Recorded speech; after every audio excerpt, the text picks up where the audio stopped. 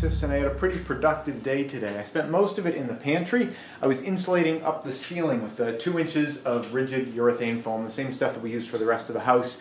Cut it up, got it up in there, spray foamed around the edges. I hope and I think that's going to make a big difference in terms of how much energy it takes to keep that place cool. So I'm pretty happy about that. I'm also reorganizing the pantry at this point because uh, you know I didn't like the way it was laid out. It was kind of like 90% done and we're doing the last of it now.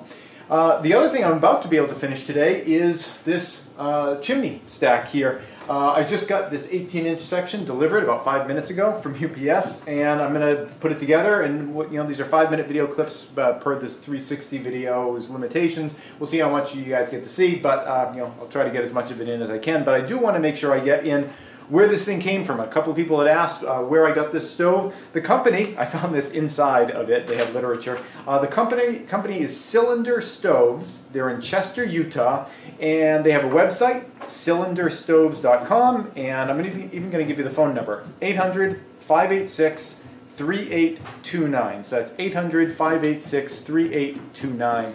So if you want to see if you can get your own, again, every time I tried to grab this, they were always like, you know, they had too many orders and they, they could barely keep up as it was. But that's where I got it, and, uh, you know, we'll be uh, seeing how well it goes.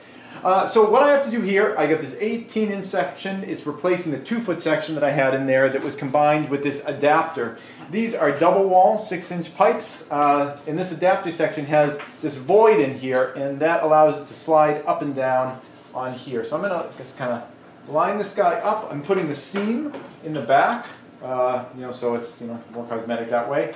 And I'm having it so the two seams of these guys don't exactly line up. Okay, there we go. So these are going one inside the other. I'm trying to do this so I don't scuff it up because you, you make it short and then you re-extend it. So let's see, I'm gonna go more. I think I needed this thing to be 20, 24 inches, I believe. All right. Let's see. Okay, so that's going to work. So what we're doing here is, well, I want to line those things up. Okay, yeah, that'll work.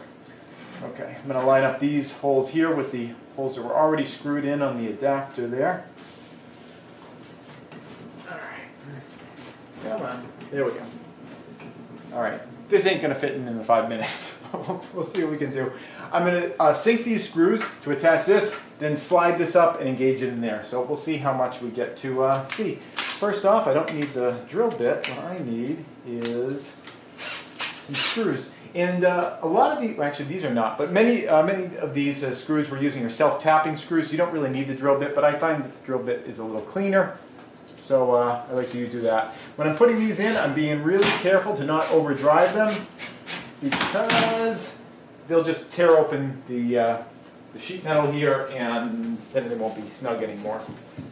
Okay, I, I usually put in three screws, you know, at third thirds of a way around distance. Let's see, last one here. The reason I'm securing this first is because when I extend this collar up, I don't want this thing to you know, lose registration. So this is secured right here. Last thing to do is slide this up. I, I wanted to mention I have this uh, tied, this top section is tied up there, you can see the straps. And the way I, those are just kind of like tie down straps you used to like hold something on top of your car. The way I got them to grab this is I took an oven mitt that was, uh, had kind of a silicone uh, coating on it. I put that, uh, well Amber held it onto the stove and then I, I ran a strap around it and the silicone allowed it to kind of grab. Now I've got some uh, previously uh, drilled holes in this adapter section. I'm going to see if I can line those up with the holes that are in this, yep, this top pipe. Okay, I'm feeling like almost need a stepping stool.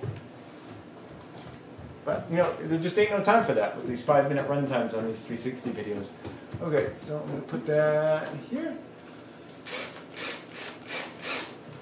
Okay, that one kind of just spun. I don't know about that. I'm not super happy about that. Let's see, other one. Okay, that one locked in pretty well.